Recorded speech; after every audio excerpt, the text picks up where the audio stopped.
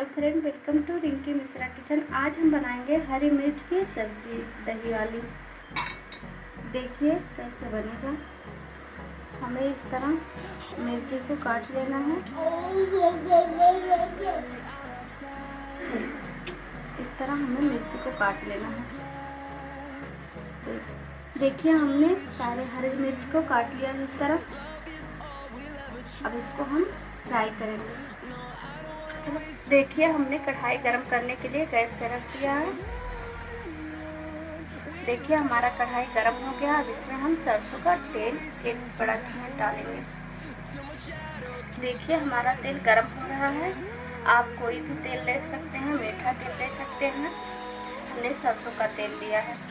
देखिए, हमारा तेल गरम हो गया। है अब इसमें हम एक छोटी चम्मच जीरा डालेंगे।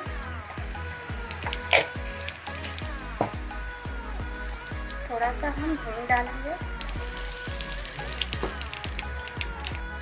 इस तरह से हमें जीरा को फ्राई कर लेना है, थोड़ा ब्राउन कलर करना है। देखिए, हमारा जीरा ब्राउन कलर का हो गया है। अब इसको हम मिर्ची को इसमें डाल देंगे। हम हल्दी पाउडर डालेंगे।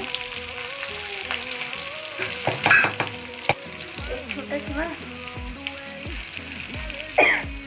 धनिया पाउडर डालेंगे। देखिए कितना अच्छा रेडी हो रहा है। देखिए हमने नींबू का बीज निकाल दिया है। इसमें हम नींबू काटेंगे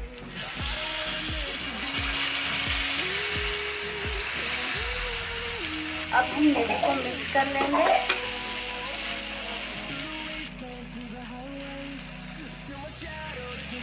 हमें स्वाद अनुसार नमक डालेंगे इसमें। अब इसमें हम दही डालेंगे इस तरह हम दही डाल के मिक्स कर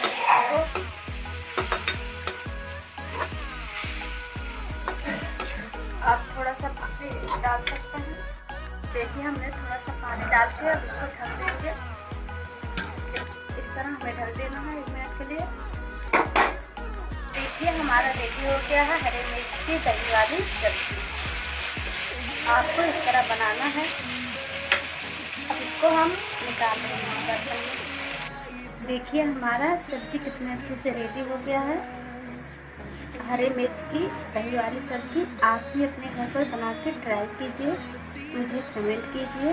मेरे चैनल को सब्सक्राइब कीजिए लाइक कीजिए शेयर कीजिए। Thank you